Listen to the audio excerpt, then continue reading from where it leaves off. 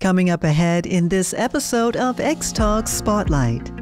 AI has been doing amazing things uh, all across the world. And I think the industry has gotten to a point now where they recognize that the most important thing is the data under the hood. Um, the algorithms, the approaches are, are phenomenal, but they uh, can't do anything unless you have really solid data. And these chemomic approaches are producing data at a scale that is perfect for AI. We've learned a lot of things about how to design libraries and how to run the screens in the most effective way. We've also learned a lot of things about how to um, analyze and, and annotate the data that comes off of the DEL.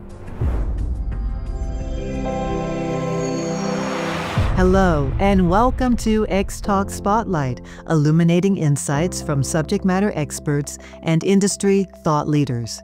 I'm Sonia Hunt. In this episode, we're exploring a critical question How can we make drug discovery faster and smarter? In conventional drug discovery, 99% of DNA encoded library screening data is dismissed, even though it holds valuable insights into molecular interactions, structure activity relationships, and mechanisms of action. To learn more about the untapped value of DNA encoded libraries, I connected with two key thought leaders from X-Chem for this edition of XTalk Spotlight. Matt Clark is the President, Chief Scientific Officer, and a founding member of X-Chem, and Erin Davis is X-Chem's Chief Technology Officer. During our discussion, we talked about Chemomics, which is the company's next gen approach to DNA encoded library technology. Matt and Erin explained how this novel approach turns billions of data points into actionable insights, giving teams reliable omics scale signals and enabling data driven decisions earlier in drug discovery. Thank you for taking the time for this spotlight interview, Matt and Erin. Yeah, looking forward to the discussion. Yeah, thanks for having us. Happy to be here. So, Erin, we'll begin with you. X-Chem is known for DNA encoded library, or DEL, technology. And the company has recently announced a new approach that leverages your DEL legacy. This approach, of course, being chemomics. Can you give us a brief outline of this?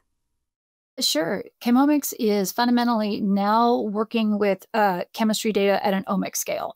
And um, I think there's been a lot of development in the field around dealing with big chemistry data, but that's not been at the hundreds of millions or uh, tens of billions of data points. And um, now that our DEL is producing uh, data that is usable at this level, it's a whole new approach. Uh, how do you use hundreds of millions of data point chemistry data points um, to unlock how protein structure function works and then use it for drug discovery. So this has been a whole new um, initiative of R&D and it's been super duper exciting. And Erin, how does chemomics fit into a world that is now so focused on AI? Perfectly. Um, AI has been doing amazing things uh, all across the world. And I think the industry has gotten to a point now where they recognize that the most important thing is the data under the hood. Um, the algorithms, the approaches are, are phenomenal, but they uh, can't do anything unless you have really solid data. And these chemomic approaches are producing data at a scale that is perfect for AI. So as the world continues to invest in developing these AI methods, um, Chemomics is creating the data that goes into it at uh, an unprecedented scale. So um, they're perfect partner. And Matt, from your perspective, why is X-Chem best suited to bring the Chemomics approach forward? I think X-Chem is best suited for for two reasons. Uh, firstly, uh, we are the pioneers in the DNA encoded library technology. We've been operating it for uh, 15 years. I think we've done more DEL screens and built more DEL libraries than any other team in the world. Um, we've learned a lot of things about how to design libraries and how to run the screens in the most effective way. We've also learned a lot of things about how to um, analyze and, and annotate the data that comes off of the DEL. So that's number one. And the second reason is the investments we've made in our computational capabilities, particularly since we um, brought Erin in uh, about 18 months ago with a remit to build a, computational suite that could match and exploit the the scale of the data that this platform generates. And that's why we're so excited to, to bring this combination uh, to the industry. Now, this chemomics approach represents something of a mindset change. Why do you think such a change is needed? Well, I can start with that. Um, the mindset change really is is transforming DEL from a, a screening platform to a generate a data generation platform.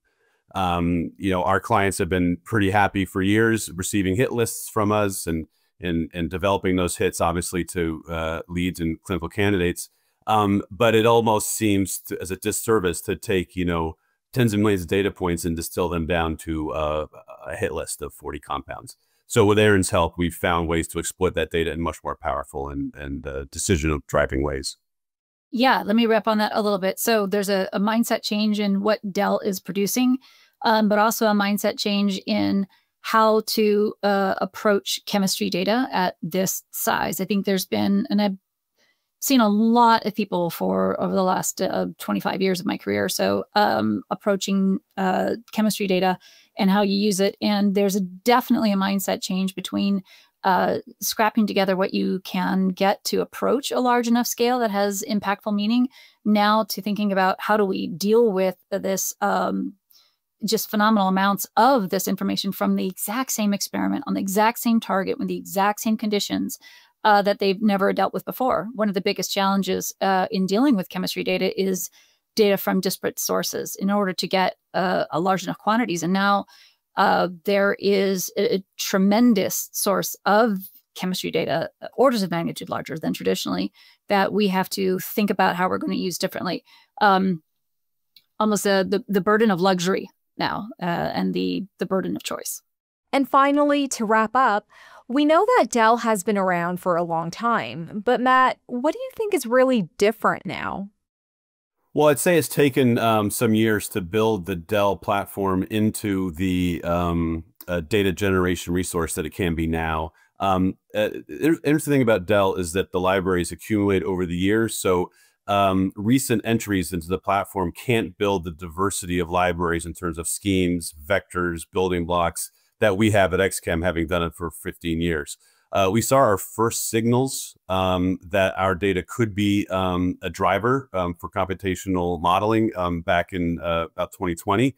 Um, and you know, with Erin's onboarding, we continue to see that as, as time goes on, as we build the libraries even further, that signal just gets um, more and more powerful. So I don't think this would have worked within two or three years of our foundation. We just needed to build those libraries to a critical mass of diversity and quality. We're there now. Well, thank you very much, Erin and Matt, for speaking with us today. We greatly appreciate your time and insights. Yeah, thanks so much. Super exciting stuff. Yeah, thanks so much for the invitation. That was fun. We look forward to learning more about X-Chem's next-gen DEL technology to help drive more efficient decision-making in drug discovery. Thank you all for joining us for this X Talk Spotlight feature. We hope you enjoyed the discussion.